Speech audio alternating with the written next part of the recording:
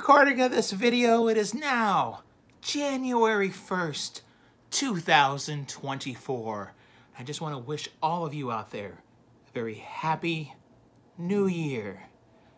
I have here some champagne. I realize this is not a champagne glass. This is a wine glass. I don't have any champagne glasses, but uh, this glass is filled with champagne. So I'm just here to toast.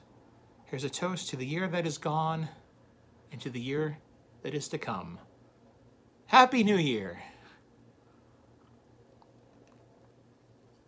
And if old acquaintance be forgot and ne'er brought to mind, in auld lang syne. I don't remember how the rest of the lyrics go, but if old acquaintance be forgot and ne'er brought to mind, ba ba ba. Something about taking a cup of cheer and then all auld lang syne. So the past several years I know have been difficult for many of you. The past year of 2023 was a decent year for myself, but I know there were others that still struggled, that seemed to still be struggling, that the kept trying to catch up from the previous three years, which were seemed to be one thing, boom, boom, boom, boom, right after another.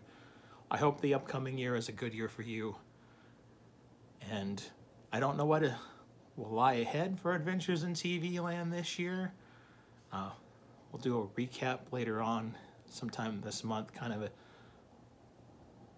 a recap of the things, the places we've gone and some of the things we experienced together and some things that the videos haven't been made yet, but places that I did go and there will be future videos about. But anyway, um, it was a good year overall and I hope 2024 is just as good, if not better. And I hope for any of you who are struggling out there or have had a bad year, I hope this year is much better than the previous year. I want to thank all of you for watching. Have a very happy new year.